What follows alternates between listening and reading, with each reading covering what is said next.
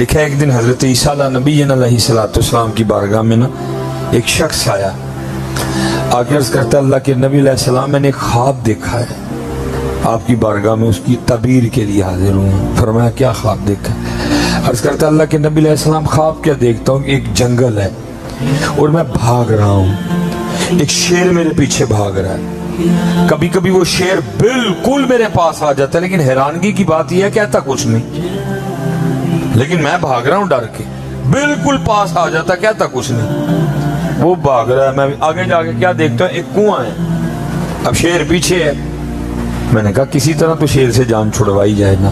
तो पहले इरादा ये किया कि कुएँ में छलांग लगा दूँ। लेकिन जब कुएँ में छलांग लगाता हूँ तो क्या देखता हूँ कि बहुत बड़ा सांप मुँह खोले अंदर कि छलांग लगाए और मैं इसको निकल जाऊँ। फिर क्या देखता हूँ कि कुएँ के ऊपर एक दरख्त है तो मैंने कहा, चलो, दरख्त से लटक जाता हूँ, कम से कम शेर से तो जान छूटे कहते, मैंने छलांग लगाई और मैं दरख्त से लटक गया, लेकिन जब दरख्त से लटका तो क्या देखता हूँ? एक सफ़ेद रंग का चूहा और एक काले रंग का चूहा। जिस टहनी को मैं पकड़ के कुएँ में लटका हूँ ना, उसको दोनों ही काट रहे हैं, अपने दांतों से। अब मुझे फ़िक्र पड़ गई अगर टहनी छोड़ के उतरता हूँ तो बाहर शेर है अगर नहीं उतरता तो अभी ये जो चूहे हैं, ये इस टहनी को कुतर देंगे। काट देंगे इसको अपने दांतों से। टानी टूटेगी, मैं जाके कुएँ में गिरूँगा, सांप मुझे खा जाएगा।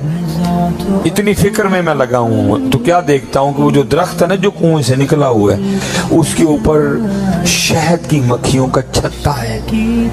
वो छत्ते में से ना शहद टपक रहा है। और वो मैंने, वो शायद मेरे मुँह में गिर रहा है।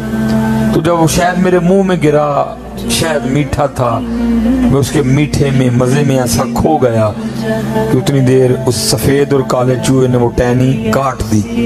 टहनी कड़प करके टूटी, टक करके। और मैं कुएँ में गिरा और मुझे सांप निकल गया, साथ ही मेरी आँखों लगी। अल्लाह के नबी सलाम अब इसकी तबीर इरशाद फरमाई है क्या?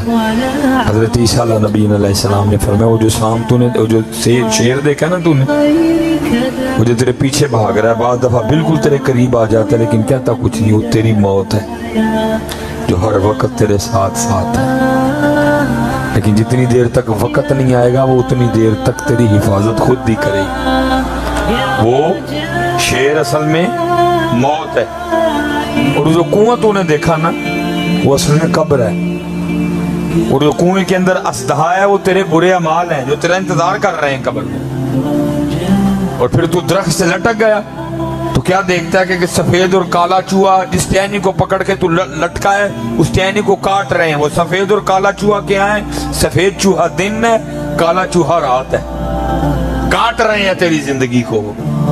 असि कैसे शदाई लोग साल बाद केक कटने कदा कटने हैं? तेरा तो साल कट गए। शदाई लोग वेखो केक कटन, मनु समझ कदा कटने हैं। तेरा तो साल घट गया। एक साल तेरा और कम हो गए।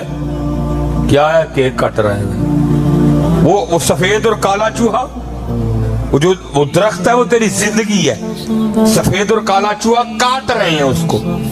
और तूने देखा ना शहद का खखा, जिसमें से शहद टपक रहा है तेरे मुँह में। वो दुनिया की लज्जतें हैं। और तो खुद ही कह रहा है कि वो मीठा मेरे मुँह में गिरा और मैं सब कुछ भूल गया और मैं जाके कब्र में गिर गया। वो दुनिया की लज्जतें हैं। जिसने तुझे सारा कुछ ही भुला दिया है। ना तुझे कब्र याद है ना तुझे हश्र याद है ना तुझे अल्लाह की बारगाह में पेश होना याद है, है? ये हम लज्जतों में पड़ गए हैं। और हम सारा कुछ ही भूल गए। लेकिन याद रखी मियाँ असी भूल गए हैं। ਉੱਥੇ ਸਾਰਾ ਕੁਝ ਵਕਤ ਦੇ ਨਾਲ ਲਿਖਿਆ ਜਾਂਦਾ ਹੈ ਕਿ ਕੀ ਕੀ ਹੋਣਾ ਹੈ ਇਸ ਲਈ ਜੀ अल्लाह आप सबको सलामत बाकरामत रखे। बातें तो बड़ी करनी थी, लेकिन मैंने कहा ना कि मौसम ने, मौसम ही बदल दिया सारा। अब मुझे इस बात का भी अंदेशा है, बारह बज के इक्कीस मिनट हो गए हैं। आपने सुबह काम पे भी जाना है। अल्लाह आपको सलामत रखे। घर का प्रोग्राम है फिर किदन कर लेंगे साढ़ा की है? ਅਸੀਂ ਫੇਰ ਕਿਦਾਂ ਕਰ ਲਾਂਗੇ ਤੁਹਾਡਾ ਕੀ ਹੈ ਹਾਂ ਇਹ ਸਾਡੇ ਘਰ ਦਾ ਪ੍ਰੋਗਰਾਮ ਹੈ ਫਿਰ ਅਸੀਂ ਕਰ ਲੈਂਦੇ ਹਾਂ ਇਸ ਲਈ ਬੇਟਾ ਆਪ ਸਭ ਸੇ ਗੁਜ਼ਾਰਿਸ਼ ਹੈ ਸਾਰੇ ਨਮਾਜ਼ ਸਾਰੇ मैं इंशाल्लाह मैं बड़े मीठे तरीके से समझाते हैं उन्होंने असल में लगा होता है ना उस, उसकी भी टेंशन होती है हाँ मैं मैं काके मेरी गल समझ गए नहीं इंशाल्लाह चौबी वाले, हैं। दलेरी पुत्र, वक्त आ गया अब। कितनी देर आप बैठ के तमाशा देखोगे? ये आपके पाकिस्तान को नोच रहे हैं कितनी देर इनको नोच रहे देखो, बोलो, उठो। और मैंने कहा, आपको कुछ नहीं करना पड़ेगा, सिर्फ़ उठ जाओ। आप 22 करोड़ हो, वो 300 है बस वो 300 भी ये नहीं कि वो काबिल नफरत है, वो सारे मोहम्मद पढ़ने वाले बस आप होश में आओ, ठीक हो जाएँगे सारे। के किसी की ज़रूरत ही नहीं पड़ेगी। पाकिस्तान के पास कुछ एंडी बैनी करने की। क्योंकि मैं ही सोया पड़ा हूँ। जो माली सो जाए तो चोर का जो दिल करे पिया करे माली सो जाए फिर हम आप उठे आप आप जागे। आप आप होश में आए सारा कुछ ठीक हो जाएगा, अल्लाह के फजल करम जब तक चले जब तक चले खूब चला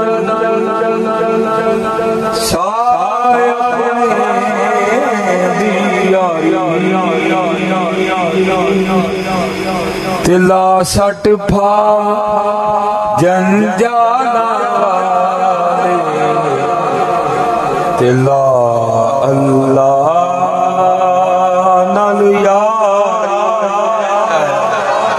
अल्लाह उसको सलामत रखे बामत रखे।